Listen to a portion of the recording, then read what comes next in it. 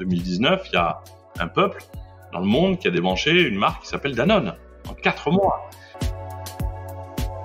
Je change plus facilement et plus rapidement le monde en achetant d'une certaine manière mes produits, en limitant les impacts euh, plastique, euh, carbone, euh, en redonnant de la valeur aux choses, plutôt qu'en votant une fois tous les cinq ans, en croisant les doigts, en espérant que d'autres le font pour moi.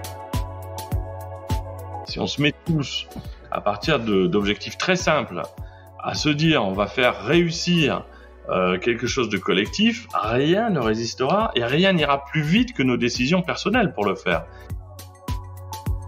Bonjour et bienvenue dans Si c'était mieux après, le podcast qui pendant cette foutue crise vous éclaire, vous oriente, vous aide et vous déconfine tous les jours pendant 30 minutes. Je m'appelle Laurent Stock et je suis le dirigeant de deux petites entreprises qui, contrairement à la chanson, connaissent bien la crise. Et c'est bien parce que je ne suis pas le seul que j'ai eu envie d'entendre d'autres entrepreneurs et acteurs de notre territoire. Comment gèrent-ils la crise? Quel management opèrent-ils Quelles initiatives ont-ils lancées? Et comment ils ambitionnent l'après? Tout ça, j'ai envie de vous le partager. Demain ne sera vraisemblablement plus comme hier, et finalement, si c'était mieux après. Bonjour tout le monde et bienvenue pour ce 44e épisode et deuxième post-confinement.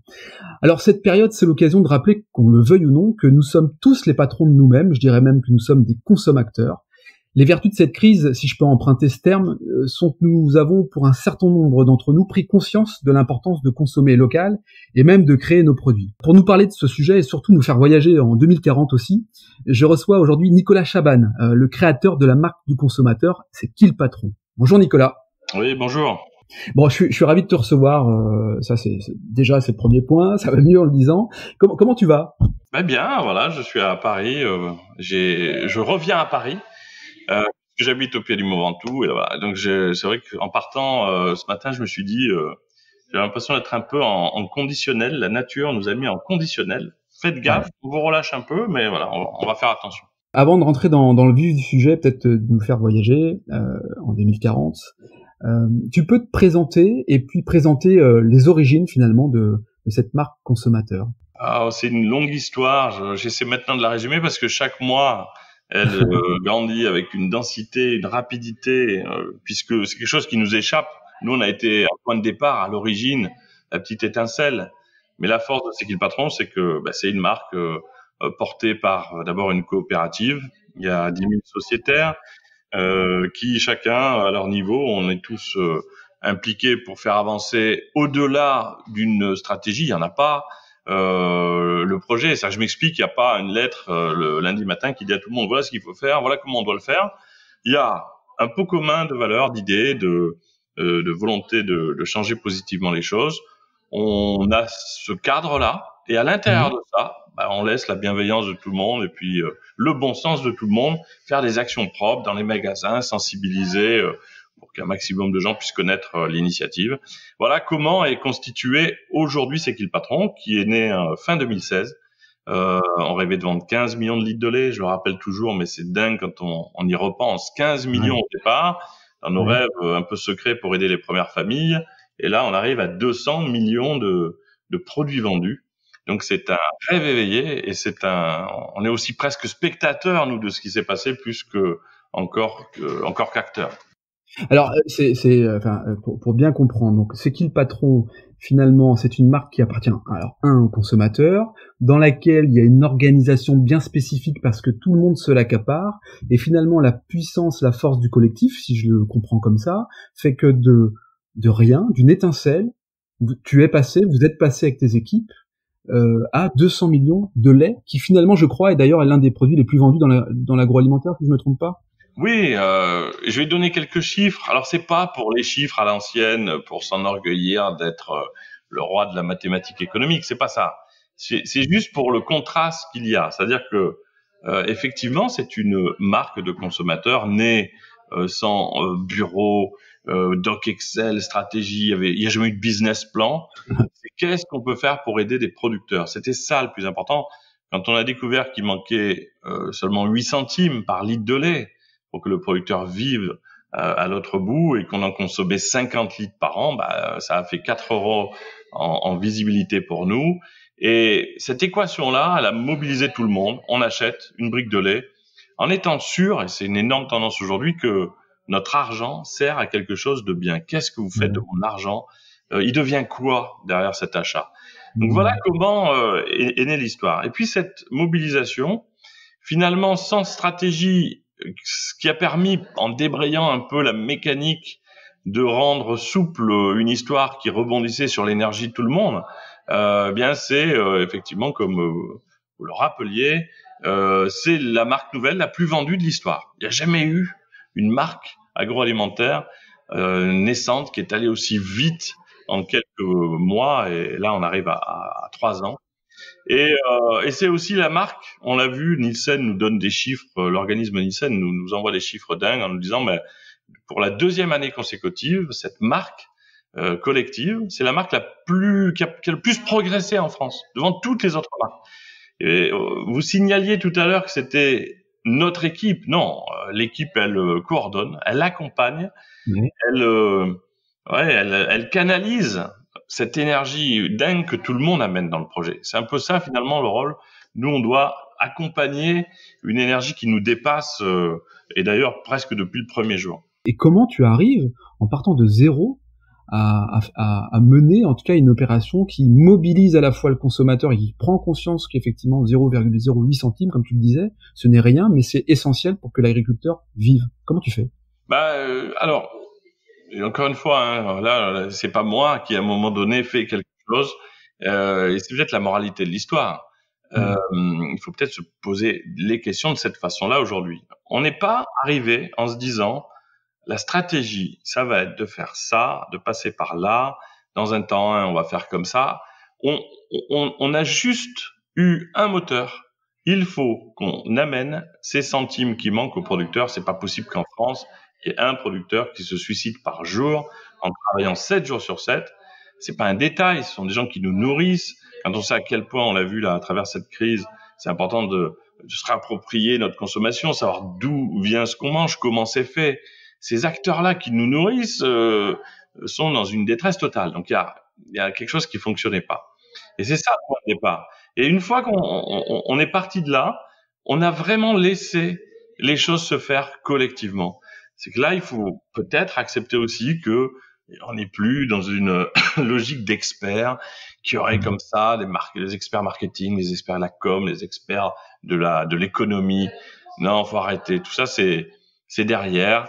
Euh, bon, on a tous accepté à un moment donné, mais on se rend bien compte que euh, réfléchir à un sujet en partant du bon sens qu'on partage tous, qu'on soit vieux, jeune, euh, ou de, de, de, tel secteur, ou de tel, euh, de tel métier ou telle catégorie professionnelle, on arrive quasiment au même résultat. On a, mmh. on a eu 185 000 votes et on se rend compte que le profil à chaque fois est quasiment le même. C'est quand même marrant de savoir que c'est aussi simple que ça. Bah, on veut de, de l'origine France, on veut protéger le producteur, on veut que l'impact environnemental ne soit pas trop grand, mais on n'a pas non plus demandé ça sur Internet euh, dans l'absolu, sans accepter l'idée qu'il fallait arbitrer et mesurer. C'est là où la, où la, grande idée euh, de Laurent Pasquier de mettre le prix en face de ses choix était important. Oui, on peut faire euh, des choix valorisants sur les critères que je viens d'évoquer, mais l'incidence prix est un autre point de repère.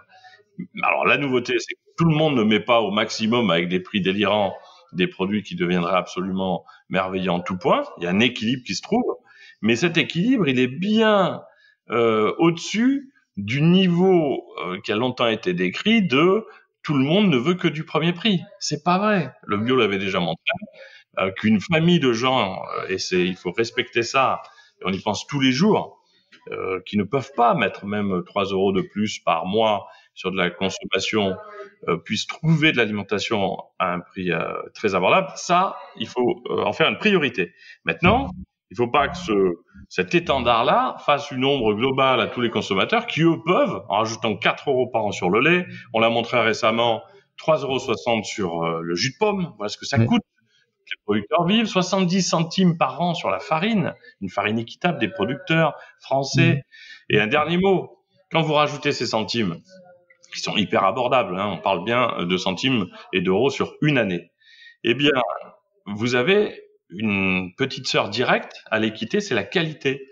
Un producteur qui gagne sa vie, déjà, c'est le bonheur de savoir qu'il dort mieux, Et, mais il fait son métier aussi différemment parce qu'il enlève les OGM, euh, il, il, fait en sorte que l'impact environnemental soit moindre au niveau de, euh, de, la, de sa production. Vous voyez, on a tout à y gagner, euh, à voir plutôt les choses ainsi. Et tous ceux qui peuvent le faire, qu'ils le fassent parce que c'est d'une victoire collective. C'est dans les deux sens qu'on gagne. C'est fou parce que ce bon sens représente un cercle vertueux complètement complètement dingue au service aussi du, bien-être de l'agriculteur qui, qui, fait son métier dans des conditions où il arrive à dormir la nuit. Euh, j'ai l'impression que vous avez partagé un, des propos identiques avec Serge Papin que j'ai reçu il y a pas si longtemps que ça, qui tient un, un discours euh, euh quasiment identique euh, au tien.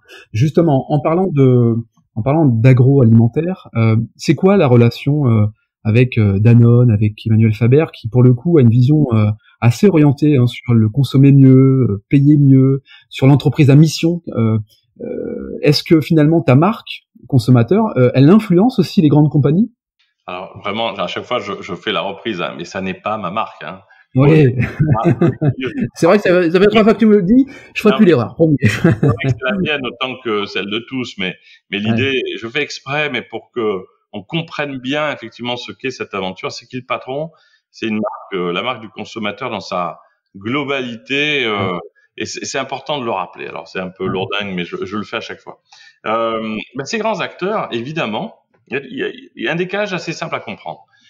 Euh, J'ai parlé avec Emmanuel Faber, je, je parle avec les acteurs. Euh, on, a, on, parle énormément avec Nestlé, qui, a, qui, qui, est très porteur, qui vient nous voir très souvent, qui sollicite en disant mais il faut qu'on se parle. Alors pas nous, Nicolas Chaban et le patron de Nestlé, mais les mmh. consommateurs et les grandes marques euh, ils ont conscience de l'urgence de le faire. Hein, il s'est passé des trucs dingues hein, au Maroc quand il y a eu un boycott des Marocains contre euh, Danone, euh, ça, ça, ça, a été fou. En quatre mois, il y avait 40% de chiffre d'affaires en moins, alerte sur les résultats, annulation de la distribution de dividendes. Mmh. Tout le monde s'est réveillé en se disant, bah, en 2019, il y a un peuple dans le monde qui a débranché une marque qui s'appelle Danone en quatre mois. Donc mmh. tout le monde a conscience de la fragilité de euh, ce que c'est de pouvoir vendre des produits euh, en gros parce qu'ils passent à la télé et qu'on les voit en publicité. Il faut se rendre compte quand mmh. même que les arguments qui nous font acheter certains euh, des produits qu'on connaît, euh, on n'a pas beaucoup d'infos sur la rémunération du producteur réellement, les efforts sur l'environnement. Et c'est pas d'ailleurs à charge que je dis ça, c'est que sans doute que ces fabricants qui en plus font des trucs bien, hein, et on, le voit en parlant avec eux, ont pas vraiment su communiquer sur ces aspects-là. Et lorsqu'aujourd'hui, ben, ils essaient de communiquer, il y a une énorme, une énorme défiance euh, qui est peut-être un peu injuste hein, sur certains aspects. C'est vrai, moi je le concède parce que euh, quand aujourd'hui vous êtes une grande marque et que vous expliquez que vous allez faire des efforts euh, au niveau mondial pour limiter les choses, pour euh, préparer l'avenir des enfants, on est tous pareils, euh, ça, ça marche plus. Il y a même un effet boomerang euh, qui euh, est négatif quand euh, les plus gros acteurs font de la pub. Ça, c'est un constat. Mais derrière, il y a un espoir. C'est pas juste pour dire ça et être dans le négatif. C'est pas trop notre habitude. L'espoir, c'est que quand on est un fabricant, comme ces grandes marques, et là, je viens de le dire finalement en lapsus, j'ai dit un fabricant lieu de dire une marque, euh, les grandes marques sont des fabricants. Donc pour un consommateur, pouvoir rediscuter avec des acteurs capables de faire des produits dans ces proportions-là, qui d'un seul coup deviendraient plus vertueux, euh, euh, plus environnementaux, plus plus équitables, plus éthiques, il y a un énorme enjeu.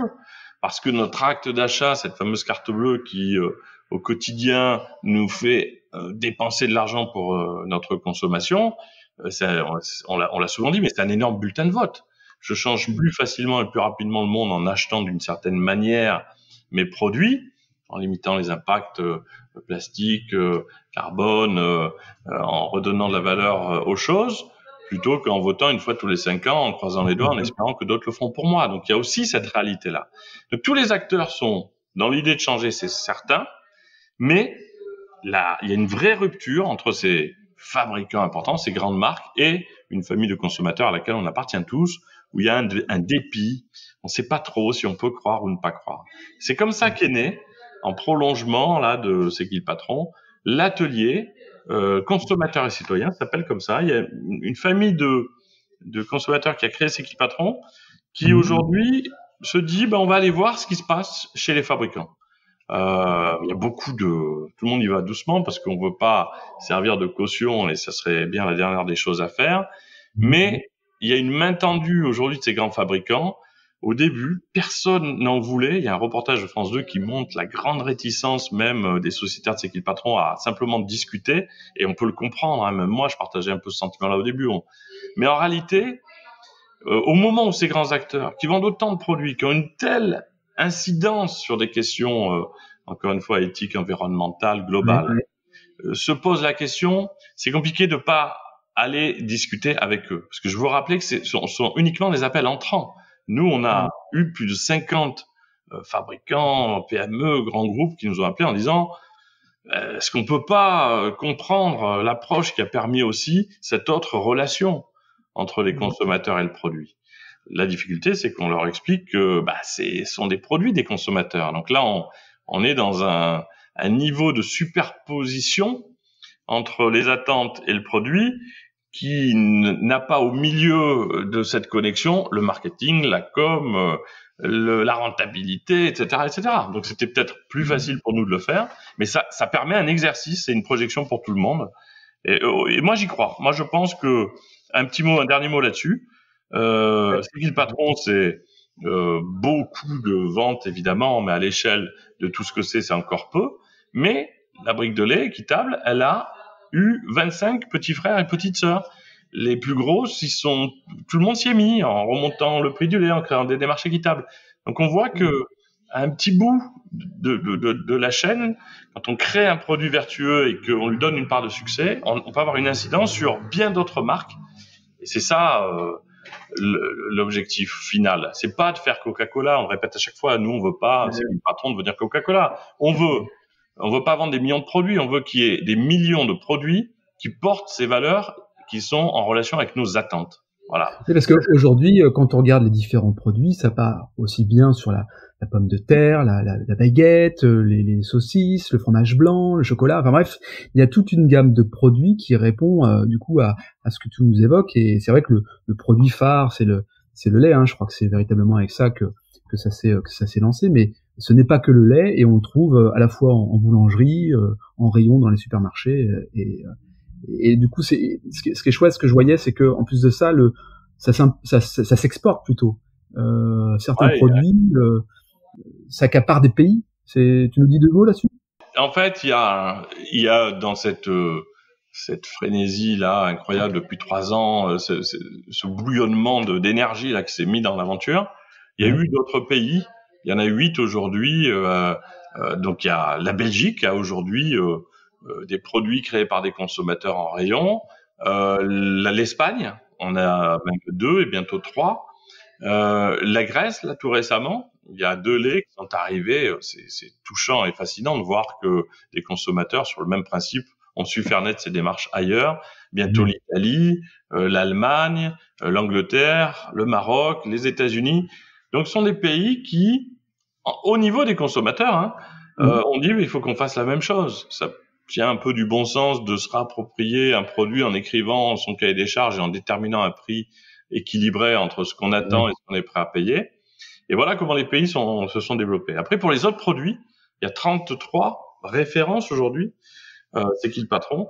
Bah, Effectivement, euh, des moins connus que le lait, mais avec des histoires incroyables. Il faut aller voir euh, l'histoire du miel, avec 11 euh, centimes votés collectivement pour, euh, pour sauvegarder et protéger les abeilles, parce qu'elles ont besoin d'avoir euh, des prairies euh, multifleurs parce que c'est bien pour leur bonne santé.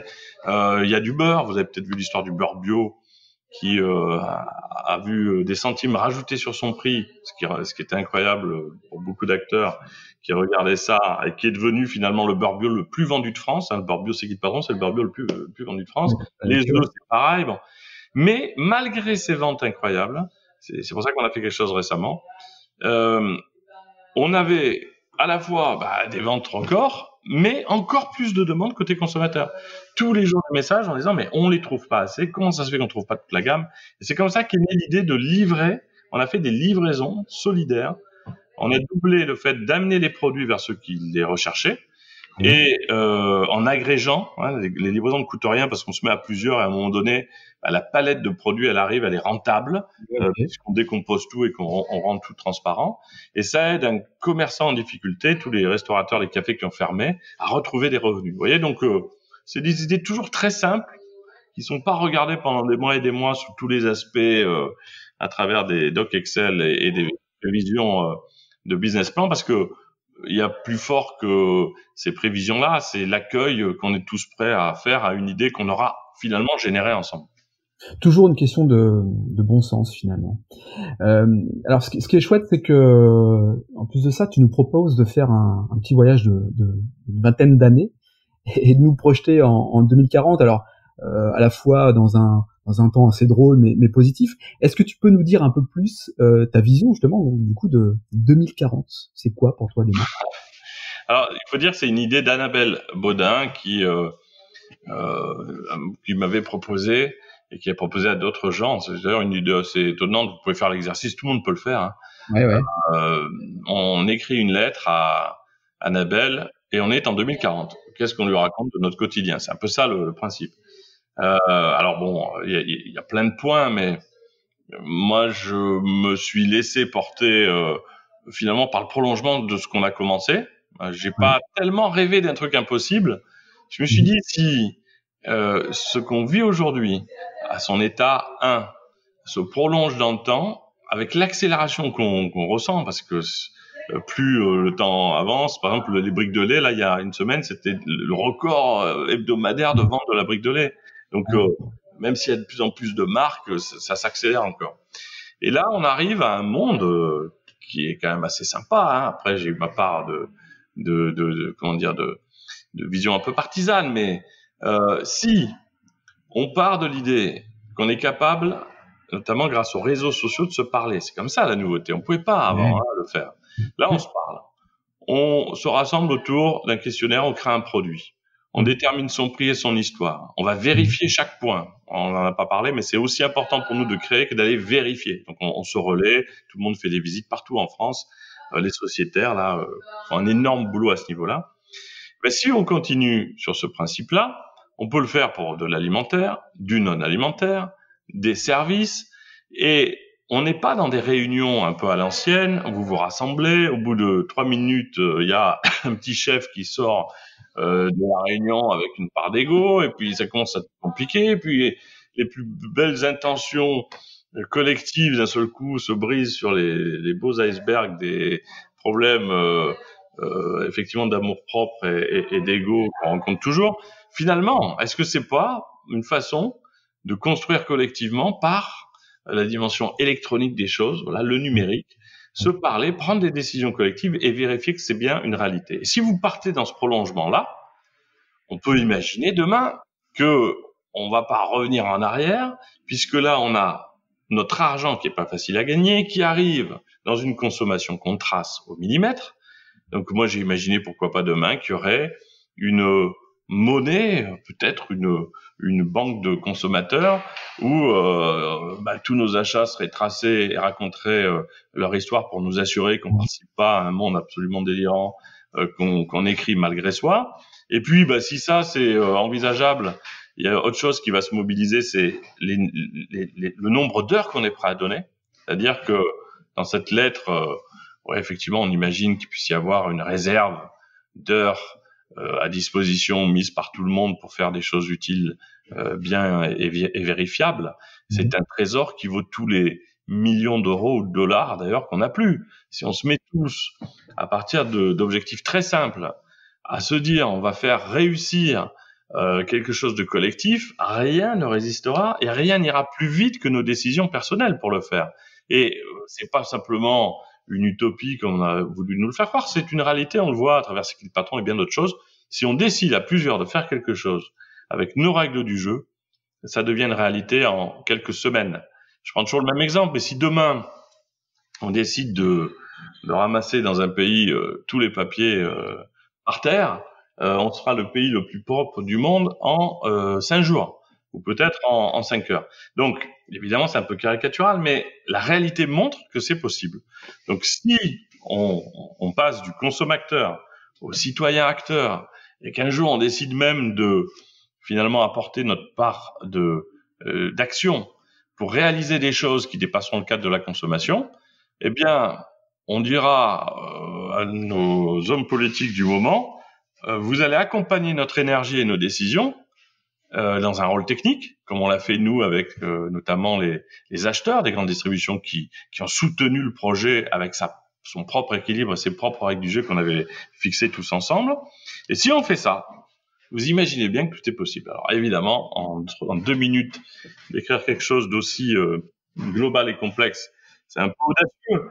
Mais à titre personnel, je, je peux imaginer que ce soit possible pour une seule raison, c'est que maintenant qu'on peut le faire et que nos actions ont une résonance immédiate, ça devient une réalité, notamment à travers nos actes d'achat. Est-ce qu'on va se priver de le faire encore très longtemps? Donc je pense que c'est euh, voilà, c'est le temps que tout le monde s'en rende compte. Et après, euh, et c'est très positif hein, ce que je décris.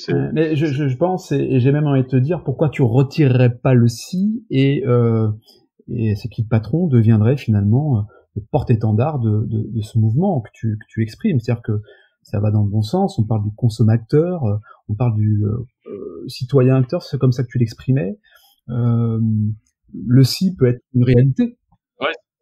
Alors là, c'est vraiment une projection qui engage que moi. Hein. Je me suis, pas engagé c'est qui le patron dans l'histoire. C'est plutôt à partir du ressenti de ce qu'on vit, qui est une réalité. Hein. Dire si ça, ça prend à grande échelle, oui, on est capable un jour de se parler de, peuple à peuple, de citoyen à citoyen, et puis finalement, prenez vraiment juste cette histoire d'acte d'achat. Hein. Mmh. Il n'y a pas, euh, euh, il a pas un stylo sur le bureau du plus grand groupe alimentaire qui est pas le résultat d'un achat à l'autre bout de quelqu'un qui certainement a bien moins de moyens que celui qui est dans le bureau. Cet équilibre global. Récemment, on disait il n'y a pas un, bouton de chemise de Bernard Arnault. Mmh. Euh, qui provient pas à un moment donné de de l'adhésion par quelqu'un à son humble niveau qui, qui, a apporté une partie de ses achats vers euh, vers une de ces sociétés. Mmh. Donc euh, c'est pas une vision politique là, hein, surtout mmh. pas. C'est l'idée que quand on, on, on, reprend conscience de cet équilibre-là, que d'ailleurs ceux qui bénéficient en étant euh, plutôt très confortablement installés euh, de tout ça se rendent compte que leur survie va dépendre d'un rééquilibrage, là ça devient simple. Hein. Tant que c'était euh, tout à fait légal d'avoir 1% des gens euh, qui possèdent la moitié des richesses de la planète et qu'il n'y avait pas d'enjeu à le changer, personne n'arrivait à le faire changer. Aujourd'hui, ces 1% se rendent compte que s'ils veulent continuer, notamment de développer des affaires économiques, il faut qu'ils intègrent un, rééquilibrage parce que sinon ils peuvent être disqualifiés très rapidement. On a vu l'exemple sans stigmatiser, parce que ça peut arriver à n'importe quelle mm. marque, mais l'exemple de Danone au Maroc est très très symptomatique de ça. Mm. Euh, si on détourne nos achats euh, d'une marque aussi importante soit-elle, elle s'effondre en, mm. en, quelques et mois. Et à la fois, si on renforce un acteur plus petit, une PME, un producteur local, euh, parce que c'est important pour nous qu'il se développe, on aura le même effet positif et inverse. Voilà, donc on a le volant, ce volant collectif entre nos mains, et, et, des outils pour y arriver.